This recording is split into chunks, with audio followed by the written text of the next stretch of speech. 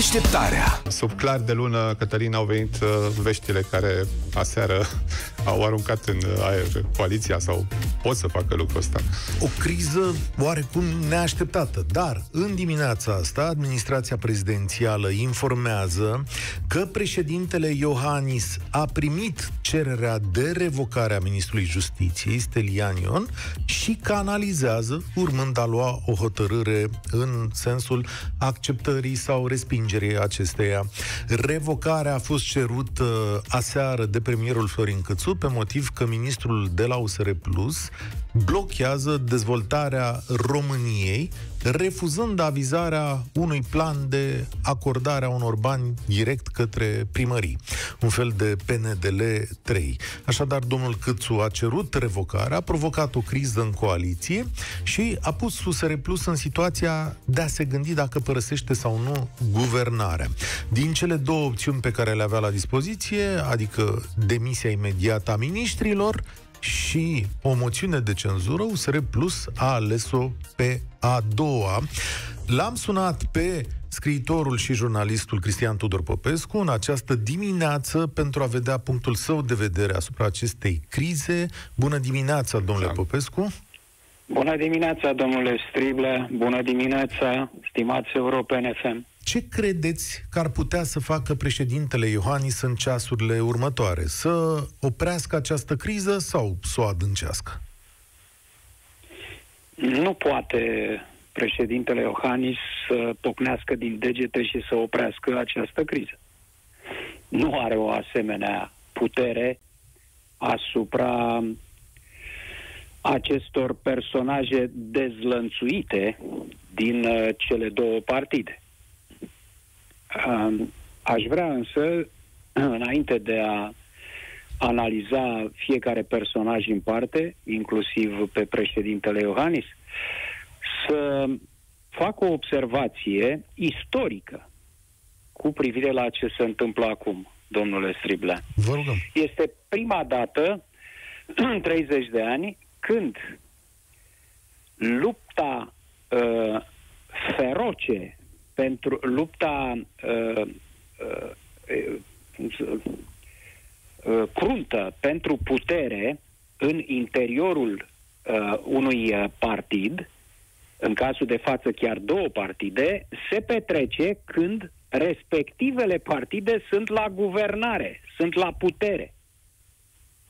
Acest uh, fenomen uh, s-a produs de-a lungul timpului când partidul respectiv a părăsit guvernarea, a ieșit de la putere și atunci s-a declanșat lupta pentru șefia partidului în interior. Amintiți-vă, să o luăm de foarte departe, din 1992, președinte de partid era Radu Câmpeanu la Liberali, uh, au pierdut uh, alegerile în uh, 92 și a fost uh, schimbat uh, Radu Câmpeanu cu Mircea Ionescu Quintus.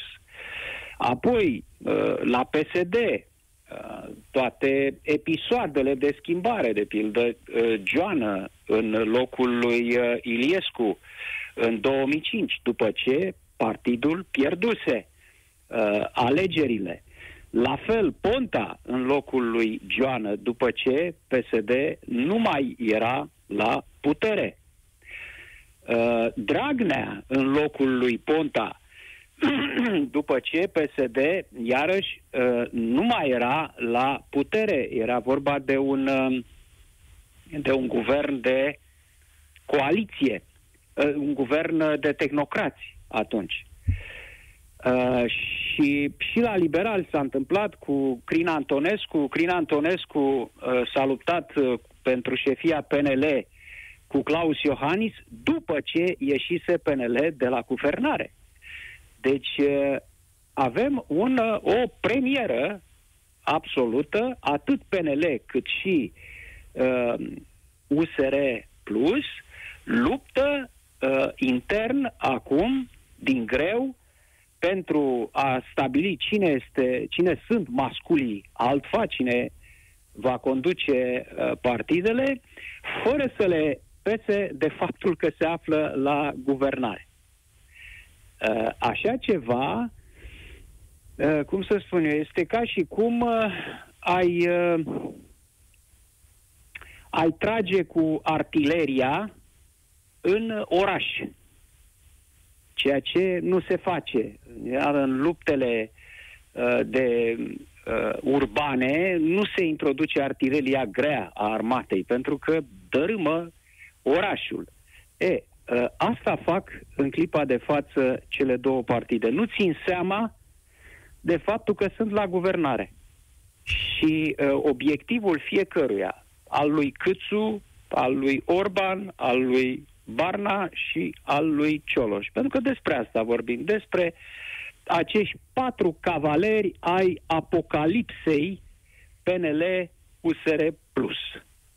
Uh, fiecare urmărește Uh, să uh, urce, urmărește să obțină o poziție uh, mai sus politică în clipa de față și interesant e că nu sunt interes, că interesant e că niciunul dintre ei nu se gândește la uh, nu, nu vorbesc aici de considerente morale, de a le păsa cât de cât de cei care au ales de acest, uh, hai să rostesc uh, cuvântul popor în momentele de față, nu, nici nu luăm asta în uh, discuție, dar măcar să se gândească la viitoarea lor carieră politică. Pentru a obține pozițiile în interiorul partidelor, acum sunt dispuși să-și compromită cariera politică pe termen lung. Asta înseamnă că USR Plus va forța ieșirea de la guvernare sau că va reuși îndepărtarea lui Florin Câțu așa cum și-a propus?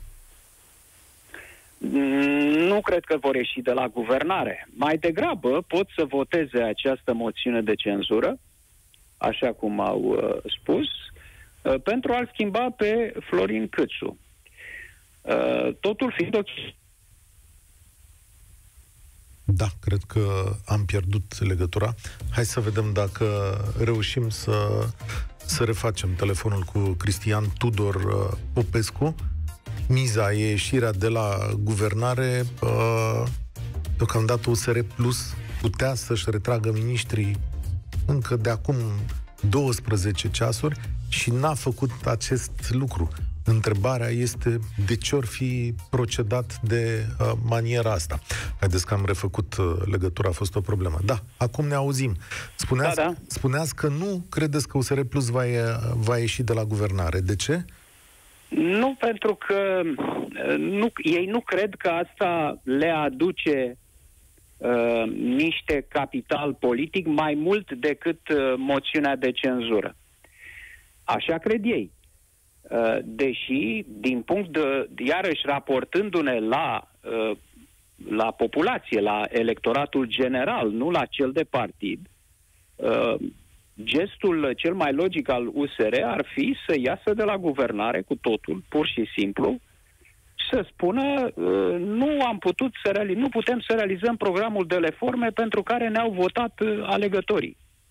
Prin urmare, părăsim guvernarea. Asta este o mișcare principială, să spunem. A vota moțiunea de cenzură, moțiunea de cenzură a cui? A PSD? A AUR? A vota moțiunea de cenzură a, a opoziției înseamnă o discreditare. În niciun caz nu câștigă în ochii propriului uh, electorat. Deci iar este o, o manevră uh, politicianistă. Uh, dar uh, așa își fac socotelile uh, dânsii. Este un exemplu, domnule Striblea, din punct de vedere matematic al teoriei jocurilor, este un frumos și rar exemplu de joc de sumă negativă. Ce fac acești domni? Există jocuri de sumă nulă, în care unul câștigă, unul pierde există jocuri de sumă pozitivă în care ambii uh, implicați câștigă. Și iată că avem și acest uh, concept mult mai puțin analizat, acela de sumă negativă, lose-lose. Ambii pierd în clipa de față. Eu nu știu, oamenii ăștia mai au vreo urmă de logică, de conștiență. Ce fac ei acum? Acum toarnă voturi la PSD și la AUR. Nimic altceva. Ambele partide, PNL și USR, plus pierd în, în, ace- în tot ceea ce se întâmplă. Asta și totuși continuă. Asta înseamnă că în orele următoare, cel mai probabil, vom asista la revocarea domnului Stelian Ion, după care la o criză guvernamentală care se va prelungi pe durata două, trei săptămâni până când se va stinge fie prin moțiune de cenzură, fie prin renunțarea da. la război din partea USR+. Da, e foarte probabilă această variantă, pentru că mă întrebați de președintele Claus Iohannis la începutul discuției noastre, nu poate să nu îl revoce, pe, să nu aprobe revocarea lui Stelian Ion. Pentru că asta ar însemna să-l abandoneze pe Florin Cățu, pe care l-a susținut constant în uh, bătălia cu Ludovic Orban, uh, ca și în bătălia cu USR Plus, care datează din perioada schimbării lui Voiculescu, de la sănătate. Deci n-are cum uh, președintele Iohannis să uh, îl lase în offside, uh, practic, pe Florin Câțu, um, dacă nu ar accepta revocarea. Deci și lucrurile vor merge în direcția în care uh, spuneți, spuneți dumneavoastră. Mulțumim tare mult, Cristian Tudor Popescu, scriitorul și publicistul Cristian Tudor uh, Popescu. Pregătiți-vă pentru, știu eu, câteva zile de tulburare până când probabil se va ajunge la un nou acord. Deșteptarea